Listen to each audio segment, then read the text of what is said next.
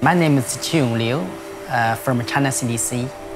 Uh, my research focuses on uh, two areas. The first is vector and vector-borne disease. The second is uh, climate change health risk assessment and adaptation strategies.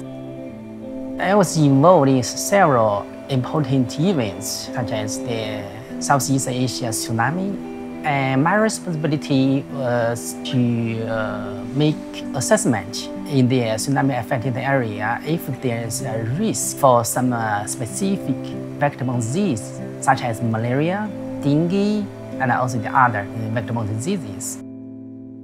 It's really a challenge. We have the responsibility to go and to help. I promote the research in this area in China and in the world.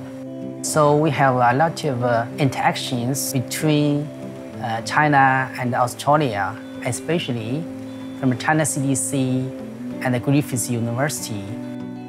Almost every year, Griffith University sends a team to China, to Beijing, to Guangzhou, Shanghai, to see the alumni and to communicate with, with them.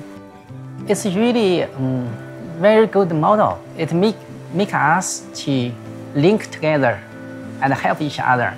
This is the culture, I think, the, the Griffith University culture. I'm very interested in biology and medicine. I think I'm getting to love this. And uh, when you love something, you, you can contribute a lot. As a postgraduate students uh, for master's degree and for PhD, I learned a lot I think the, I have the uh, responsibility to teach what I have learned here, yeah, to empower the, the young scientists to work together more effectively and efficiently.